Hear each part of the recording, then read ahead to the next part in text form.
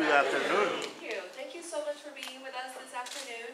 We're glad to welcome you uh, to Dr. Ray's first official kind of press conference. We're delighted to, uh, yesterday the board voted on his official contract, so we're delighted to be with us, uh, with all, for all of you to be with us today. Uh, Dr. Ray is going to go through his presentation, and then after that, we're going to take questions, so I'll field the questions, so please hold any questions until the end until he finishes his presentation. So with no further ado, I'd like to introduce Dr. Joris Ray, our superintendent.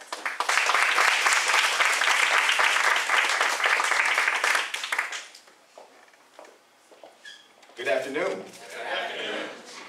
Thank you so much for being here today. Uh, I look forward to working with each, each of you in the upcoming weeks uh, and months to come.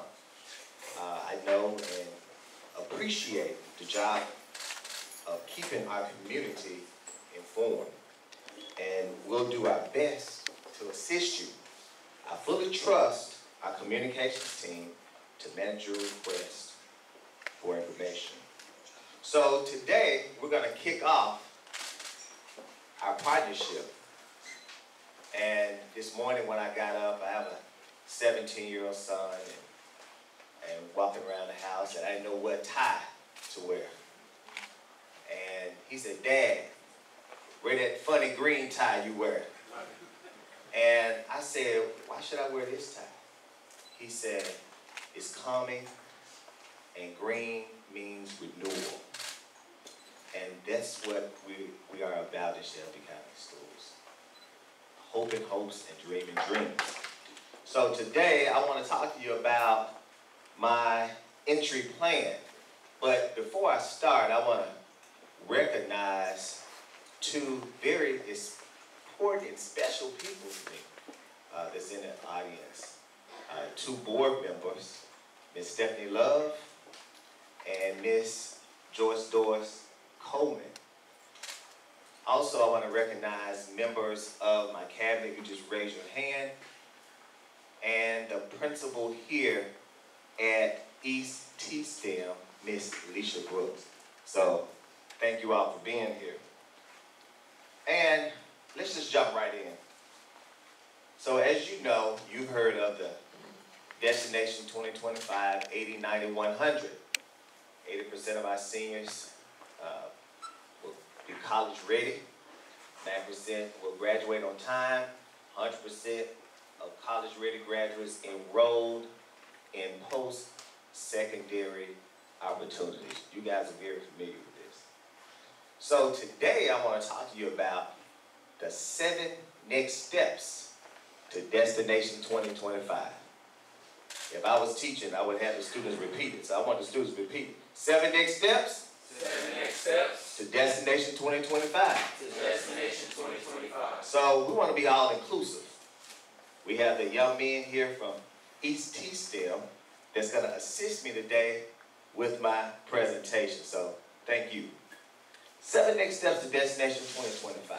We're going to lead with academics. Academic equity and action plan. Dr. Burt, raise your hand, Dr. Burt, our chief academic officer, laid out a robust plan and the direction that we're going to go in the next few months to come. And I believe the seven next steps is, or the seven next steps are the right direction we need to go in as a district. And the, the academic equity plan will get us and move us in the right direction. So let's talk about a few points. And I have students here that's going to assist me. They're going to assist me. And we're on track to graduate students. 79%, I think our goal is 90, so we're on track. We're moving. However, of 79% on track to graduate, only twenty-three percent of our students, twenty-three percent of our students. Now, these students represent number of graduates. Only twenty-three percent of our students, two, made a twenty-one or higher on the ACT. That indicates, one of the indicators that you're college ready. That's a problem. We have to do something about it. With that being said, these are some steps that we're gonna take to get us there. One is zone for continuous improvement. We asked some schools to come out of our zone, and we don't want them to revert back to the iZone. So the zone for continuous improvement is that safety net of support to give schools to keep achieving. Another is we have to work on our rigor. Again, 21, 21 percent or 23 percent of our students scored a 21 or higher. And we have to get there through rigor. We're gonna restructure iZone, introduce ACT predictor exam. But we have to start in early grades, K2. We have to start in early gra- grades, K2. Literacy is so important. By the time a student is in third grade, they should be reading at or above grade level. At or above grade level. So how are we gonna do that? Establish a universal phonics program, K2, as well as provide support in second grade with teacher assistance. Had an old, uh, old college professor, uh, Dr. Reginald Green at the University of Memphis. You guys know I'm a lifelong Memphian. And Dr. Green often talked about the third grade guarantee. So that's what I want. By the time students in third grade, I want them to read at or above grade level. Social emotional learning. We have to have the support in place to ensure our students are ready to learn. Childhood trauma is real. I shared with principals this morning. I saw a student at Sonics, headphones on, listening to music. I thought she was getting ready to go to work, but she was working vigorously on homework, just working. And I noticed she was just working and moving her head. Went to talk to her. I said, hey, you getting ready for your next shift? I said, you doing homework? She said, no, sir, I don't work here. I said, well, why are you at Sonic doing your homework? She said, I'd rather do homework at Sonic to put up with what I have to put up with at home. Childhood trauma is real, and she began to tell me stories about her home life. She'd rather study at Sunny than at home. Schools are a microcosm of larger society. So these are some of the next steps. Adverse childhood experiences. We want to be, as a school district, we want to be trauma responsive school district. And it starts with the board all the way down into the classroom. And so one of the things, going back to my students, and these students are top students, they never get in trouble. They've never been suspended, come to school every day. But let's assume these 10 students represent the entire district. African American and Latino boys make up 40% of the students. Four stand. African American and Latino boys make up four or 40% of our district. Now assuming the same students represented, One percent of the students who were expelled in SCS in two thousand seventeen, black and brown boys, nearly make up seventy percent of the district expulsion. Seventy percent. And it's not just Shelby County schools. For every one white student referred to juvenile court, three black men or women were sentenced. Three black men or women were sentenced. So, we have a problem. We have to do better. We have to tend to the needs of our students. But it takes all of us in a community to pull together, work together, and be examples for our young men and women. So we want to provide additional counselors to better support schools, develop information awareness campaign, school community, increase the knowledge about this issue. Even with our Hispanic students, they're fearful because of everything they hear in the news. They're fearful to come to school. They're traumatized. But we have to let all students know schools are a safe place for you. And we're going to wrap our arms around all students and we're going to speak life to some of the data that I talked about. Servant leadership. Servant leadership is very important. And my dad always taught me and talks about leading by example. And I'm going to do that. And I'm going to be here for the students in Shelby County and model for the entire district. And I just recently appointed a few people we have just named to assist building the spirit of servant leadership. Jerica Phillips, you all know, and Dr. John Barker, both will be on the front lines to support our external stakeholders. And I developed a new org chart, inverted org chart. The superintendent is at the bottom. I'm the least among you when it comes to importance. Our students, they're at the top. And I mean it. And whomever sits on cabinet or in our schools, we're going to, we're going to have a servant attitude. This is why we're here, these students.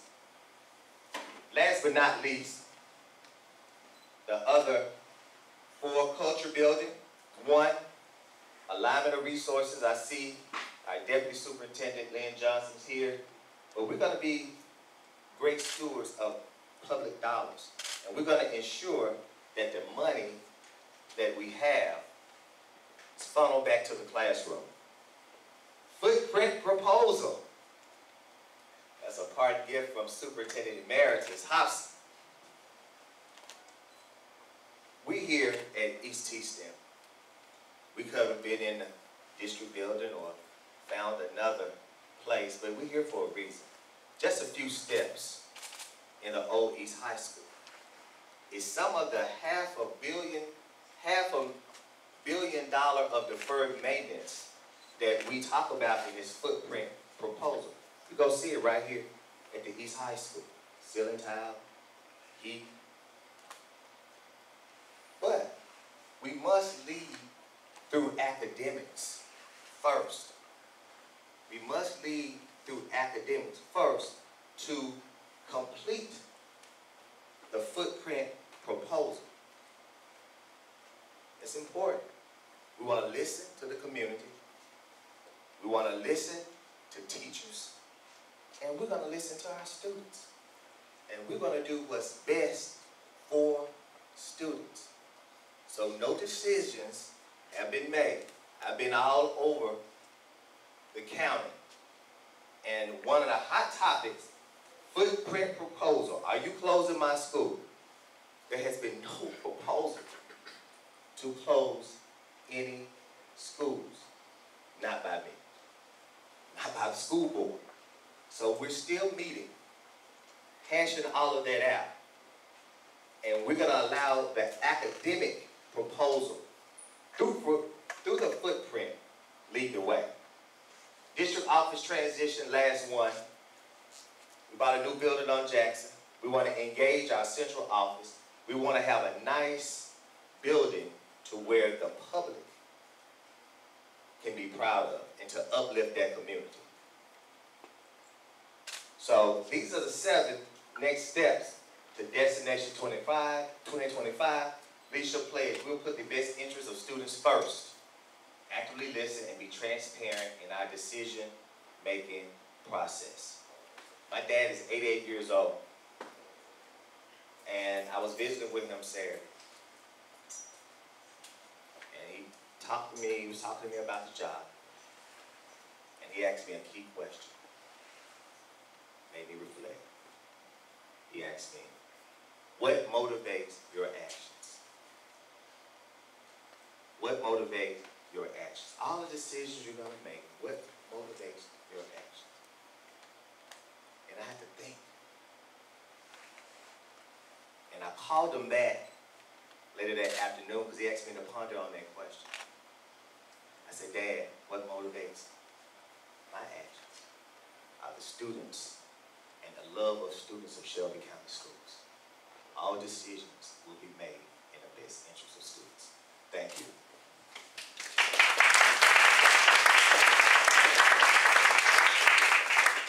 Thank you, Dr. Ray. Um, we'll open it up for a few questions. Um, our time is a little bit limited, so we apologize in advance. No questions? Oh, Laura, of course. Uh, can you expand a little more on you talking about aligning resources? What does that mean? aligning resources to ensure that when we prioritize dollars, we prioritize them back to the classroom. If there's a cut, try to protect the classroom first. So what, what might that look like, or is that still in flux, or? Still in flux, still working through the budget process. You'll learn more about that next month. Bishop Clark? Go ahead. Thank you. Can we get you away from the monitor, sir? Appreciate it, yeah. Thank you. Bingo. Go ahead, Tish. Oh, okay, thank you. Dr. Ray, Yes. welcome.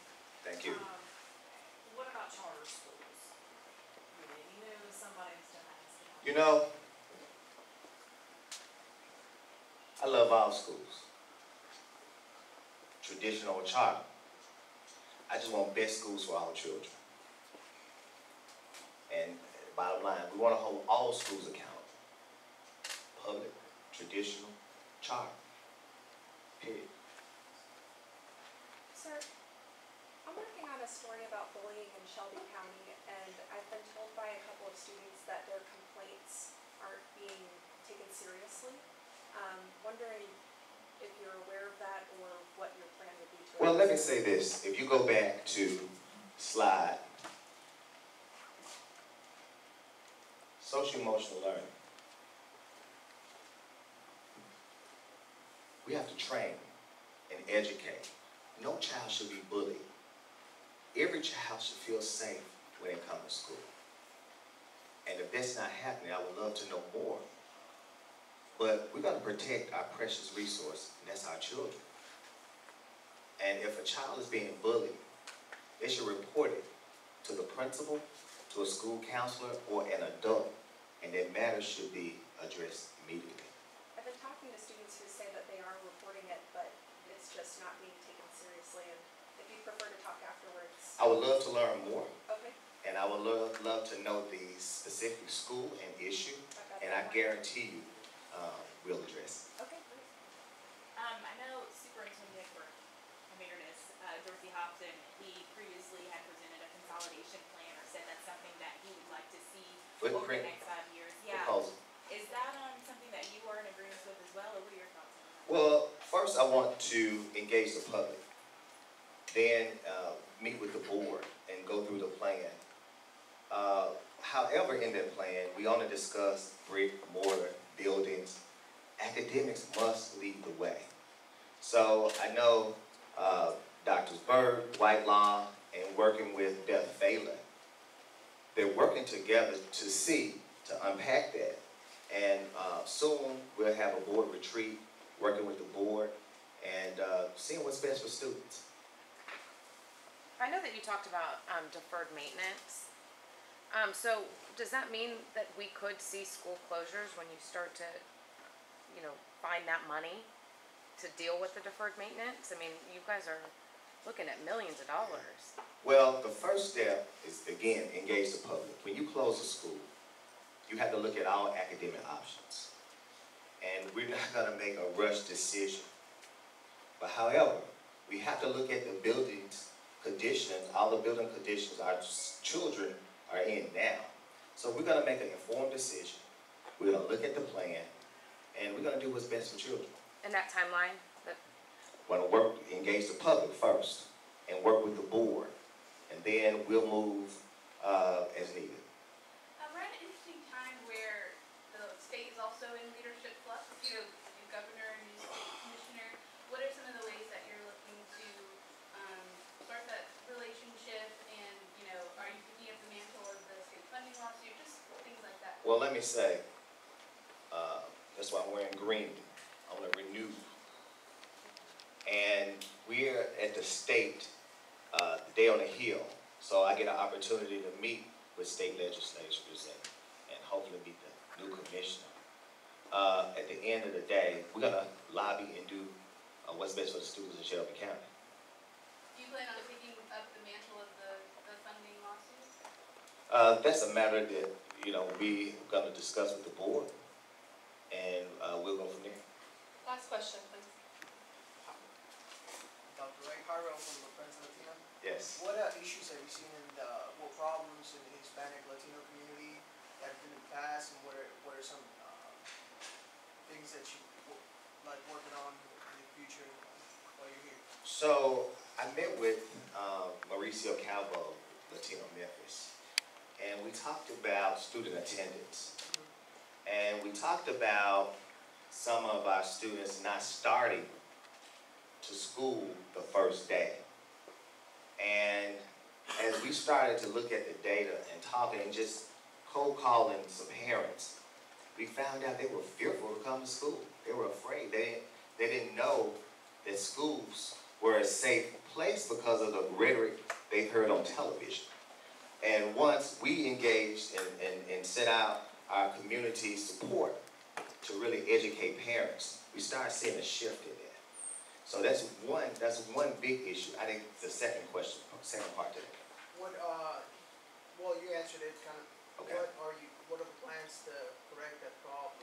Uh, and or, or organizations that you're working with to correct that? You know, Latino Memphis, uh, yeah, the uh, Mexican consulate, And Ty just reminded me he was here, but also just avenues to make our students feel safe. And the Mexican consulate has been so great in providing uh, their support to the parents in our school district. Any opportunities for undocumented, uh, students that are graduating, uh, programs for the universities, uh, colleges? Marisa and I discussed that, and that's something we're both partnering and, and hopefully have a proposal uh, for local universities. Okay, I apologize, I do have to get superintendent to his next meeting, so I will stay behind, a few members of our team that will stay behind, we'll take any other follow-up questions. Uh, thank you, everybody, for attending, we appreciate your time, as always, we're available, send us, uh, your inquiries to media relations at scsk12.org and we'll be able to answer them. Thank you.